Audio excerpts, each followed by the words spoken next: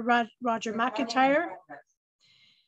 Dr. Roger McIntyre is the professor of psychiatry and pharmacology at the University of Toronto and head of the mood disorders psychopharmacology unit at the University Health Network in Ontario. He has a huge list of accreditations. So I'll go through a few just so you can know some of the, um, wonderful work that he is doing. He's um, executive director of the Brain and Cognition Discovery Foundation, uh, which many have, uh, many of you would have seen in our group um, with the uh, posters and, and uh, surveys that, that are going through the group.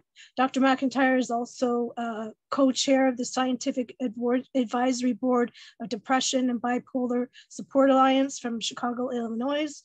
He's also professor at Nanshan Scholar Hsinchu Medical University um, an adjunct professor college, the University of Korea. Dr. McIntyre is clinical professor, State University, New York Upstate Medical University, Syracuse, and clinical professor, Department of Psychiatry and Neurosciences, University of California School of Medicine, Riverside, California, USA. He's a founder of the Canadian Rapid Treatment Center of Excellence and CEO of Braxia Scientific Corp.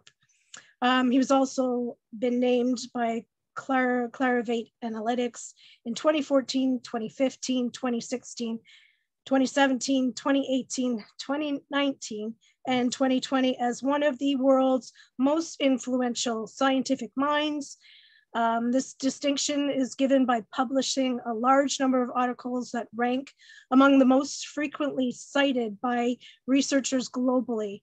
Um, 21 broad fields of science and social science during the previous decade. He's published over 740 articles, has edited and co-edited several textbooks on mood disorders. So we are very privileged and honored to have you to speak with us today. And we are going to be talking about your study um, of long COVID and brain fog.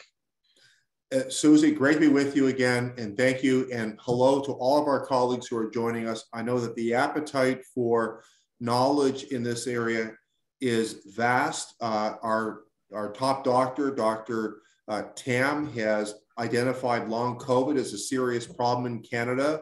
Uh, Statistics Canada is doing a survey right now looking at how common this problem is in Canada. I am delighted to see the federal government recognizing how serious and debilitating this problem is. Best estimates, as you know, Susie, at least 10%, up to 50 to 60% of people are having features of long COVID. And, um, you know, most estimates coming in around maybe 20, 30%. I think we haven't fully uh, understood what's going on here, what's causing this. We know it's very problematic. You mentioned brain fog, Susie. As you know very, very well, Susie, patients have terrible, terrible fatigue, uh, difficulty getting going, get tired very quickly around the house doing chores, things like that. Very simple tasks make people exhausted. And they have a bunch of physical symptoms. So we have a study, Susie, as you know, it's the first study that we're aware of ever designed like this, uh, where we're testing a treatment to help people who are suffering from long COVID and you have to be 18 years of age or older, be a resident in Canada, and showing some degree of uh, slowness, brain fog, mental slowing uh, since you've had COVID. Don't hesitate. There's the email address right there and the phone number, long COVID, easy to remember, at bcdfoundation.ca or 647 450 8045. You might be eligible to be part of a study. Susie, you know the study well. I know we got lots of questions people want to ask. And this is a great opportunity for the next uh, 25 minutes or so for us to go through it all. Right, so we wanted to start off asking uh, why the study for vortioxetine for the brain was chosen. Why yeah, that selection? Yeah, it's a great place to start, Susie. Very, very simply. I sat back and I thought to myself, uh, what are the most common symptoms? The most common, not the only, but some of the most common and really problematic symptoms amongst people having long COVID. Susie, as you know, people have a lot of brain fog. Their mind's just really foggy. They, they just can't think very clearly. Secondly, people are just exhausted. They're fatigued. They just have no energy. And thirdly, a lot of people were telling us, you know, I just, life's just not as good for me. I'm just not able, my quality of life is really reduced. I can't function. And we don't know what's causing all of this, but we think something about the immune system is playing some role. Uh, we're still trying to suss all that out. So we went through our drop down menu of potential treatments. We came up with this medicine, vortioxetine. For those who are less familiar, it's a drug that's used to treat depression, but we're not suggesting that COVID, long COVID, is depression. we're, we're what we call repurposing it. We're using it for another reason. Why this one? Because this one has been shown to improve brain fog in other conditions. It's been shown to really improve energy and motivation in other areas has also been shown to really improve quality of life and function. And it's an anti inflammatory. So we thought that's really interesting. So maybe we should actually test it. And that's why we chose this one in our study. And, um, and uh, uh, I think it was the right one to go with. Great, thanks. Uh, what are the, me me the me mechanisms of action behind vortioxetine as it relates to cognitive function? Yeah, really great question. You know, I would start off by saying that it's complicated. These things tend to be complicated indeed. Um, but we have been, begun to unravel some of the answer to that question. And what's interesting is that, uh, among other things, uh, vortioxetine affects chemicals in the brain that we know are really, really important for cognition. And cognition in, in really just refers to thinking. It refers to your your processing speed. In other words, that Pentium chip that's in your head, how fast you can process things, and how sharp your memory is, and how much you can pay attention. All of that uh, basic function that we all know, we depend on it every day, is cognition. And vortioxetine targets the neurochemistries. Now, the neurochemistries, frankly, Susie, it's a bit like a symphony at the Toronto Symphony Orchestra. There's all kinds of instruments that are playing a role in the melody. Uh, but we do know dopamine, which many people have heard of, plays a role here. Uh, inflammation, in other words, it can reduce inflammation. And there's another one which is really important to the symphony called glutamate. These are big words, all kinds of neurochemistry. But the gist of it is these chemistries play a role in brain fog and cognition and motivation. And so, in many ways, uh, we sort of see vortioxetine as kind of a symphony it actually has different instruments that are touching on different tunes that create this really nice melody of improving cognition, motivation, energy, and frankly, at the end of the day, quality of life and people's function. So that's our fingers are crossed. This is going to help people. Right. And so we you talked a bit about the causes of, of brain fog, but are there is it is it known that it's inflammation that's causing the brain fog? Do we know more well, now? Well, you know, Susie, the way I think about it, I use a lot of metaphors, as you know, and I sort of think about this as a, as a crime. And we're down at the police station, there's many suspects in the suspect line. And I would say in that suspect line, inflammation certainly is a suspicious character. We, we really think that what's happening is what we call friendly fire. In other words, you got infected by COVID, your immune system has stepped up to the plate, it's helped you uh, resolve the virus, if you will, in the sense of the acute viral infection. That's the good news. But there's a bit of friendly fire here. In other words, what's happened is the immune system has been so uh, activated that unfortunately it remains activated for longer than we would like it to be. And then on top of that, uh, the virus is largely under control. This thing's still this thing's still stoked up. So we're seeing, in fact, collateral damage. And what happens in the brain, Susie, is that when the immune system has been activated, especially activated for a considerable period of time, weeks and months, we start to see some collateral damage. In other words, in the brain, we've done some of this research ourselves. We begin to see changes in certain parts of the brain. And when we looked at this more closely, we discovered that those areas of the brain where some of that damage takes place is exactly the area we depend on to think. It's exactly the same area we depend on for our energy, our motivation, and how much we enjoy life. So it was a very interesting set of observations. This is why we think inflammation is playing a role. I don't think it's the only suspect in the suspect line. There's some other suspects that we are looking at. Um, but in fact, there's about four or five of them, to be perfectly frank with you. Um, but we really think this is a major one. So if that's the case, then it stands to reason we need a treatment that can reset the, the immune system. And, and we've got a reason scientifically to believe that this drug vortioxetine could do that. That's a hypothesis. We're trying to test this, but it's not a hypothesis out of the deep blue sky. This is a hypothesis based on some work that was done previously with the medication. And we already know that this medication can improve people's thinking. In fact, the FDA, the United States Food and Drug Administration, has already recognized this drug improves cognitive functions in people who have depression. Again, that's a separate ball game, depression than COVID, but we, we, we, we're crossing our fingers that we can copy and paste that benefit over to long COVID. That, along with the fact that this drug has also been shown to make people more motivated, feeling like life is worth living and people feel more get up and go. And this is what people are really struggling with who have COVID. So we thought it was, as I said, a no brainer. This is the one to go with. We got to test it. It's kind of a logical candidate. It has all those check boxes, if you will. And um, and uh, so far, you know, Susie, we're we're recruiting a, a couple hundred people in our study. I would encourage people to really sign up quickly if they want, because recruitment's going very, very quickly. Uh, unfortunately, many people have this problem, and there's not any you know proven strategy just yet. But I think the symptoms that I'm speaking to, uh, Susie, I think they really resonate because I think that's what's bothering people the most. Thank you. Yes, I think you're right. Um, as far as the design of the research study, if people are wanting to get involved, what can they uh, anticipate? Uh, what kind of tests will the participants yeah. be given? Yeah, absolutely. First and foremost, look, we know that you know life is busy. People are busy. We like to make this uh, uh, very easy. And don't hesitate. Just email colleagues on the email you can see on the screen right now, or give them a phone call.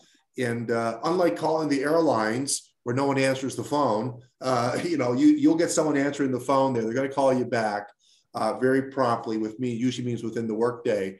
And really, in fact, what I want to emphasize is it's it's a fairly uh, low intensity involvement. In other words, you don't come into a hospital, you're not staying for two weeks or six weeks in a hospital. It's done as an outpatient.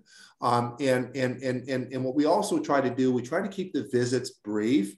Thirdly, what we also try to do, uh, Susie, is again, we know people are busy. So to the extent possible, a lot of the questionnaires and so on can be done online. So it really makes it very efficient. Now, the gist of it is, if you meet the criteria and the team will meet with you promptly, usually within one business day, they'll chat with you, set something up, determine your eligibility. If you are eligible, they'll go through an eligibility checklist with you.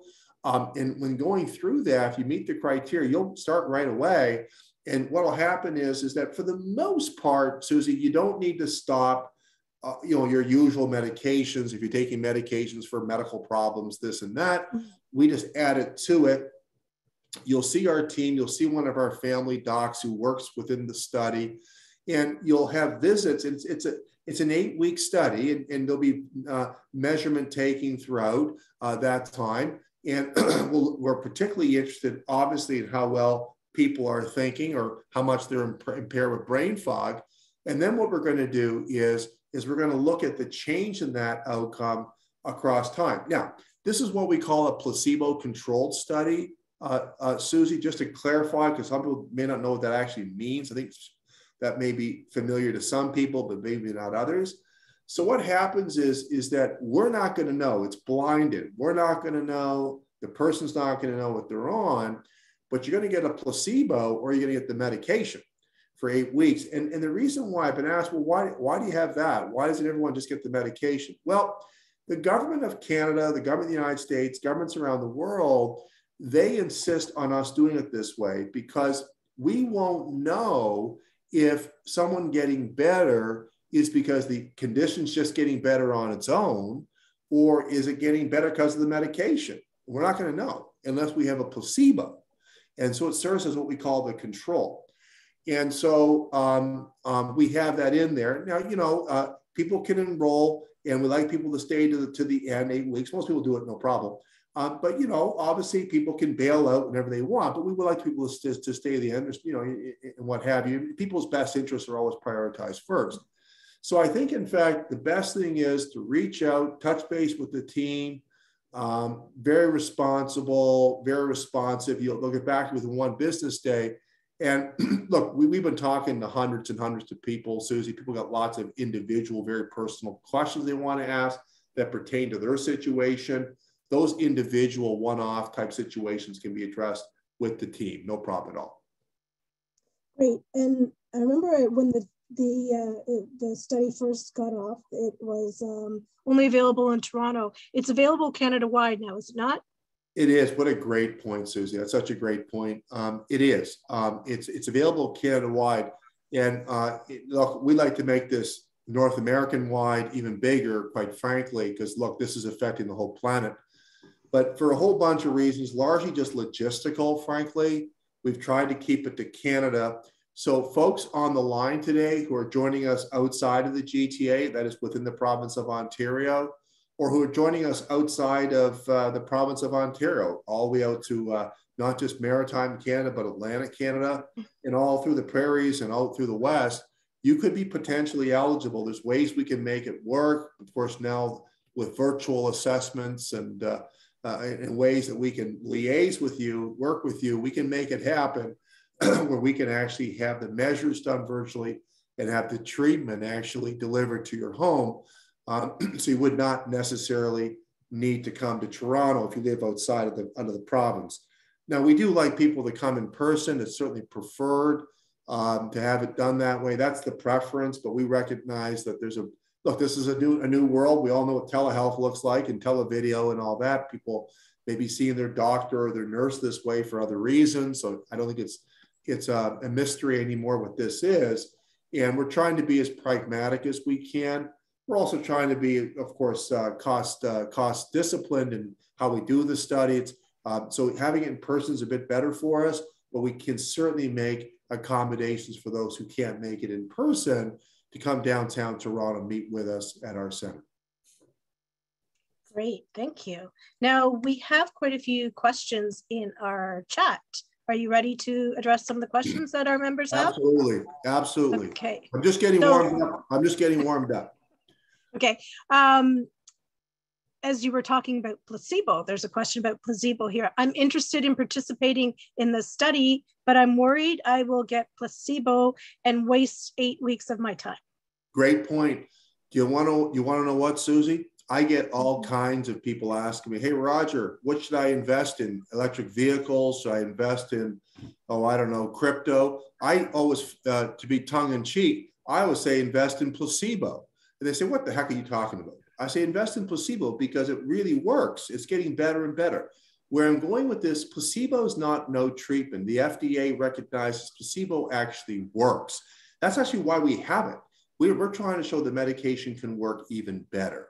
So, in fact, if you come and you're deemed to be eligible, you want to be in the study, you get assigned to placebo, you're not getting nothing. You're going to be seeing our team and whatnot and so on. And quite frankly, I've been doing clinical research for 25 years. Placebo is not just nothing. You're going to be seeing our team, we're going to be going through a variety of tests and so on. And that itself, that in itself might help some of the symptoms. That's why we have placebo in the study, because placebo is not no treatment. Now, our hope is, is that the medication works even better. That's the whole purpose. But placebo is not no treatment. And certainly there's no obligation if people are going through the study, they're not happy with the way they feel, or things are you know, their look, their health is number one. Their their their overall health care is number one. Um, their the research is a distant second, believe me. So people can exit the study anytime. But uh, certainly, in fact, the point's well taken. But I want to make that point strong. Placebo works very, very well. Uh, we're just trying to show the medication works even better. Thank you. Okay, so the next question is about a PCR test. Is a positive PCR test result required to uh, participate in the study? And also, can people who became ill with COVID during wave one and who are still symptomatic participate? Absolutely great question. Let me take the, the, the, second question first. Wave one, wave two, wave three, four. What? How many waves are we in now, Susie? I've lost count. Um, yeah. But whatever the wave is we're in right, we were recent, I forgot the number now. Uh, any wave counts. Believe me, doesn't matter uh, if you've got long COVID. According to the team, then you're that's that's that you would be eligible. Second is uh, you can come in with you know some people are not vaccinated. Many are vaccinated now, of course. Uh, if you've had breakthrough infection on a vaccine, you're also eligible. So we're, we're being very open. We're not sort of putting too many filters on this. So if it was the first wave way back in 2020, my goodness, time flies. Um, any wave, if vaccine or no vaccine, Omicron, Delta, BA4, whatever, BA5, doesn't matter what vaccine you took, not a problem. Um, the first question was just let my mind again. So, what was the first part of that question? Um, oh, just if, if a positive PCR test. Oh, yeah, yeah. So, uh, absolutely. So, what we would like people to have is a uh, documentation you had COVID. Speak to the team. Um, in other words, it could be, you know, you had test, PCR antigen test positive. Um, we recognize that early in this pandemic, that for many people, they didn't get a test. And it was pretty clear they had COVID, but they may not have had a test. I mean, let's face it, go back to the early days of the pandemic. We didn't have a lot of testing going on back then. And people clearly had COVID. Um, and so we certainly allow for a healthcare provider uh, uh, diagnosing it in the absence of a test. We prefer the test, uh, but we recognize that that didn't happen for a lot of people, or it's just not available anymore. And we recognize that. We don't want people to uh, be compromised for that reason. So we, we can make accommodation. We do like a healthcare provider to have acknowledged the condition. Um, some people we've met, Susie, they don't have the test. Uh, they clearly had COVID. Maybe they, they don't have a regular doctor or nurse. They can't find someone to give them that note. Talk to the team. There's different ways that we can kind of do our detective work just to kind of um, make it clear that you do have COVID. So there's ways that we can do uh, workarounds.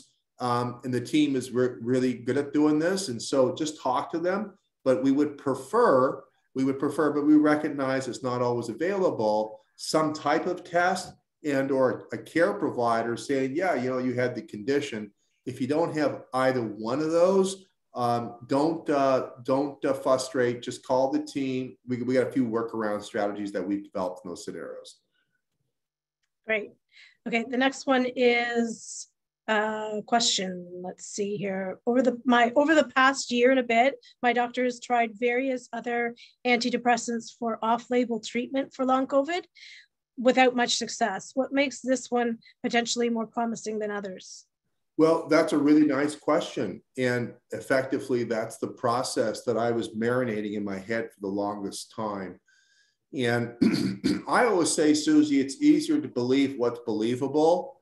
In other words, I would likely believe a treatment's likely to work if it's believable. And what's believable is a treatment that has already demonstrated itself to be a drug that can reduce brain fog, a drug that can improve your motivation and reduce your fatigue, and a drug that can improve your quality of life and function and behave as an anti inflammatory. Now, quite frankly, what I just listed there, that's not something I can say about many medicines. And um, so, so it's not that any medication is likely to work here. Um, you need to have a medication that has through good science, shown to benefit the key symptoms that are debilitating for people who got long COVID brain fog, fatigue, no motivation, things like that. And as I said earlier, we have a reason to believe that something's wrong with the immune system. That's what's playing a role here, maybe not the whole role, but at least some, at least some, you know, support actor role. And um, and this drug does that. So so it was a very painstaking process as we were marinating internally. Um, what would be the appropriate medicine to consider? It has to be safe. It has to be a drug that's easy to take, very well tolerated. But it also has to be a drug that can really deliver on those key check boxes that I listed. And frankly, the number of medicines that can do that, the way I described it, first of all, when I was thinking about it in my head, I thought, oh, I'm asking for too much. No medication can actually do that. And then we started looking at it and said, well, actually, this one can do that. And we have a lot of experience with it in other areas. We said, well, let's try it. We, we considered quite a few, but that was the one we landed on. And um, so if you've tried something else for long COVID, this is a really nice point. Um, that's obviously frustrating. Keep in mind that there's very few treatments that are able to target all these key aspects like this one does that I described. Now, there's no guarantee. That's why we're doing the study. And the other part is um, keep in mind, if you got a headache and you take Tylenol and your headache doesn't respond to Tylenol, that doesn't mean an aspirin won't help you. So just because one thing doesn't work doesn't mean something else can't work. I understand it's frustrating and it really makes you feel like, you know, like like kind of hopeless here when things aren't working. But I just want to inject some hopefulness into this that because things haven't worked out with other types of interventions you've tried, that has no bearing on whether or not this one could work. That's just a general statement, but a more specific statement is this one we think has all the check boxes we're looking for in a believable campaign. That's why we believe this one could possibly work. Great, thank you. Now, someone's asking why should they participate in the study as opposed to just getting a prescription from their family doctor? That's a great question. That's a great question. Look, I think at the end of the day, I want to point really clear this is a study. I take the view strongly, uh, Susie, that when it comes to treatment for anything in medicine, don't use anything in medicine unless it's been shown to be safe and shown to be effective. Remember back, Susie, in 2020 when this terrible pandemic started? People were getting on TV saying, oh, they're trying hydroxychloroquine, they're doing all these things to treat COVID. A lot of these things were never shown to work. In fact, some of these things had serious safety concerns. So I take the view, and this is my bias because I'm a psychopharmacologist. I, I work with, with meds, with medication. I'm a medication researcher. And I take the view that everything should be proven to be safe first and secondly does it work and i wouldn't recommend anything unless it's safe and or works and frankly we don't have a treatment yet that the health canada or the fda has approved for long covid so we we're still stuck into in, in the research of this so i wouldn't recommend any treatment for long covid because nothing in fact has been proven or, or, or endorsed by the fda or health canada so for now, we're still in the research arena, and that's where we should remain until we demonstrate the safety and then does it work.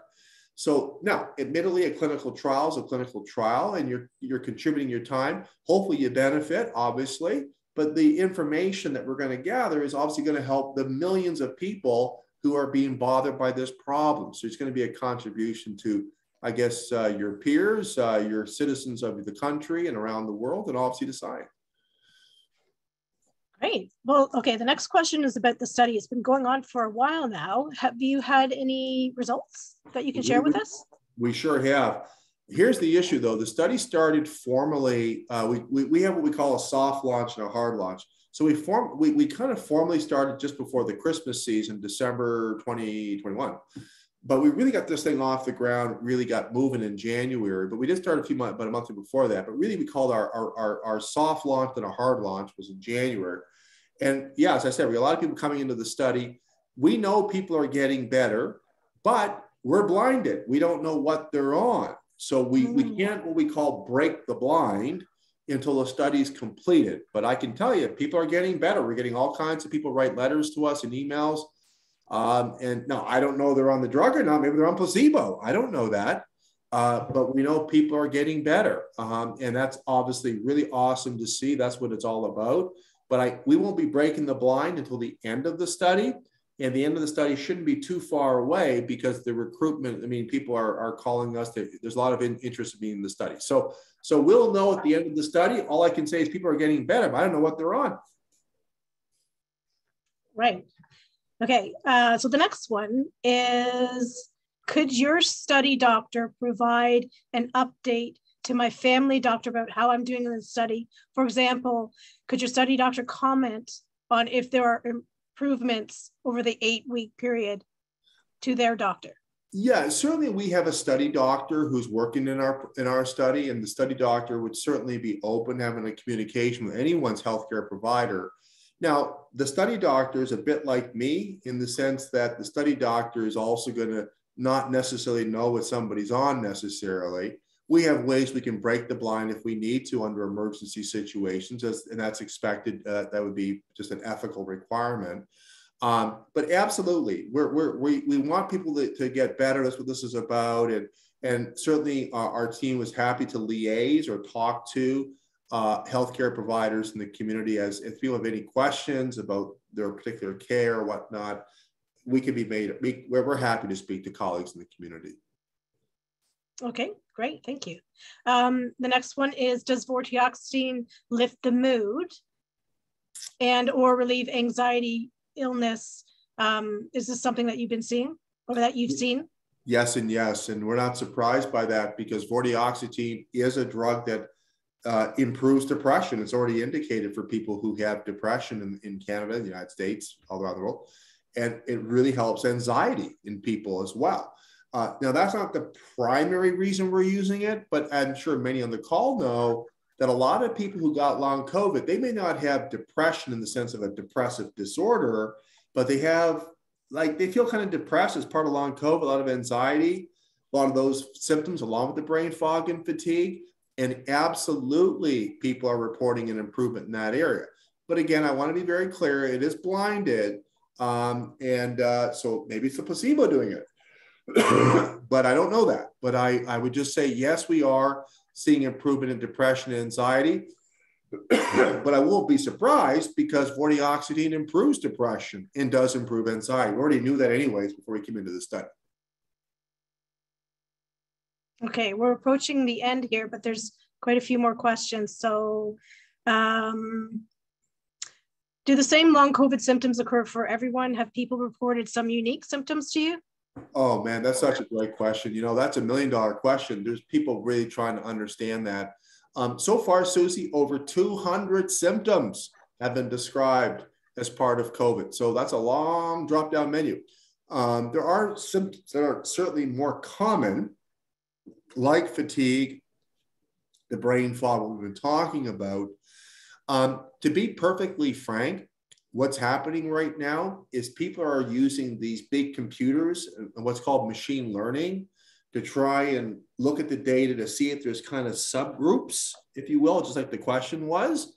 And right now, we're still on the learning curve, but it's so darn complicated uh, that at least right now, we can't say there's this subset or that type of long COVID, but we're seeing some patterns. And now what we're doing, just like when you look at the stars with, a, you know, with, with your telescope, if you increase the magnification, you can kind of see that star better. So the machine learning is helping us really sharpen the telescope so we can see that star in the data to answer that question. But right now it's a little bit kind of complicated. We can't quite see it with our bare eye just yet. Okay, I think there's a good one here about, um, could you explain how this drug could reset, could reset the immune system? What's, what is the mechanism? Yeah, great question. Imagine the immune system like a seesaw, just like a seesaw, okay? So what happens is, is when you get an infection, it's like the seesaw goes in one balance. And imagine if you weigh, say, 100 kilograms and the other person weighs 100 kilograms, the seesaw is in perfect balance, right? Let's say you weigh 100 kilograms, the other person weighs 300 kilograms. Well, you have an imbalance, right? That's an imbalance of the system. So the what happens when you get COVID is that you get that imbalance because what's happened is, is your immune system is trying to help you, but it went into overdrive. It's like this 300 kilogram system, and it caused this imbalance. And what happens is vortioxetine kind of resets the balance of the seesaw again because the immune system is a good guy, but the immune system can be a bad guy if it's activated too much for too long. And so it just kind of resets it. And uh, that's what it's doing in the lab, and that's what we think it's going to do here. And there's a one about side effects. Are there any side effects from the medication? There's always side effects. In fact, 70% of people get side effects on placebo. That's why people say to me, oh, this drug has no side effects, I think, really? Placebo has got side effects and 70% of people take it. Side effects affects everything in life. The question is, is which side effects are common and which side effects, you know, kind of rain on the parade. Well, we don't see a lot of common side effects. But that's one other reason we chose this one. It has very few side effects. You can get nausea, but it tends to go away after a few days. And it doesn't really lead to discontinuation. It's kind of a few days. It's kind of annoying, but it goes away in some people uh, who get it. Most people don't get that. Uh, so uh, uh, uh, it's one of the key reasons we did choose that one because it is quite well tolerated. Okay, this is a good one too. The research, um, does the research target tremors internal vibrations, as these are also part of neurological symptoms, or is the drug does have any known effects on this to be so associated with neurological symptoms? What a great question. That's a great question. Uh, can I add to it, Susie? Some people get palpitations, shortness of breath, other types of symptoms with their, you know, GI and bladder, things like that. This drug is not primarily in, uh, uh, considered for that. Um, we think it's going to help the things we talked about the brain fog, the fatigue, the tiredness, the lack of motivation, the decreased quality of life, people's mood symptoms. Sleep, Sleep for sure, absolutely. Sleep for sure as well. But will it help some of those like taste and smell and neurologic symptoms? I would say maybe. It won't, we don't know that it hurts it. It might help that. We don't know that. Uh, but for, uh, so it's possible. We just don't know that. Um, certainly, a drug that would reset the immune seesaw could have some benefit, but I don't know that. So uh, it's something we're we're looking at. We're considering some of those things. As you as you can imagine, 200 symptoms is a lot of types of symptoms people can get, and uh, but we really are targeting some of those key ones that I talked about throughout the program. Is there any exclusionary criteria? And do you know when the test results uh, study when the results will be made available? Yeah, absolutely. So the study is recruiting so quickly that we really expect by the end of the year we're going to have this thing just about wrapped up. I, I, I think that's probably going to be the case. Uh, so that's not too far away when you consider Susie. June's around the corner. Susie, I was shoveling my snow. Just seems like yesterday. Now it's summertime, and the fall is going to be here in no time. So the year is going to wrap up toot to sweet very quickly. Um, and so we expect by the end of the year. Secondly, um, there are some criteria that make you not eligible. Let's say you're under 18. By the way, you can be older than 18, 60, 65, 70, 75, but you just can't be under 18. You cannot be actively abusing drugs and alcohol. Uh, that's another criteria that come out. But I think for now, what I'll do, I'll just leave it for that. Talk to the team because everyone's got their individual story, and I will never be able to cover all the different kind of scenarios that people find themselves in if you eh, the team could give you a quick answer just call them up or email them we can get those answers right away to you okay there's one one question here i don't know if we can answer if left untreated do you think these symptoms will worsen over time Wow, that's a great question. Um, I, I, don't know. Nobody knows the answer to that. Uh, I hope not, um, but uh, I, I, certainly, I certainly really hope not. Uh, but you know, we've had COVID now for, if you can believe it, two and a half years. Um, so we are seeing people who have had COVID for a considerable period of time now, long COVID for a considerable period of time. Um, I hope not, but I've been around a long time in this field, and I don't know if this is necessarily the right metaphor, but I know from previous infections like Epstein's Barr, you know, and mononucleosis, things like that, other other infections over the years we have had precedent, Susie, where an infection could cause symptoms that last a long time. Now, is that necessarily the case here? I don't know, but we are seeing early signs that this could be a persistent problem for some people for quite some time. I hope that's not true, but I, I got an eerie feeling that it is going to be the case for some people. Yeah, well, it's been two and a half years for yep. some of us. Yeah. And although we do show improvement. It's uh, not back to previous COVID uh, right, right. base of health. Right. Good point. So there's a quite a lengthy one here, and I don't know if it's. Uh, I'll just read it off and see if you can just maybe. Yeah. Uh, okay. Is there conjecture that SSRI might be required longer term to address the immune and brain dysfunction triggered by long COVID. My own experience 18 months post initial infection with myocarditis and stroke, anxiety, depression, and hallucination shows a drastic improvement in memory function after starting fluvoxamine, but I'm also on Aricept. I'm hopeful for your study, but wonder whether it will be able to predict the length or of or need recommendation of this kind of medication you know, I would not be able to make a specific statement or comment about anyone's specific care or specific scenarios. I can't comment on that. Uh, but second, but I would say this is that we decided um, to go with the treatment we went with for the reasons I had mentioned. It treats the symptoms we're trying to treat and affects the immune system, resets the seesaw balance.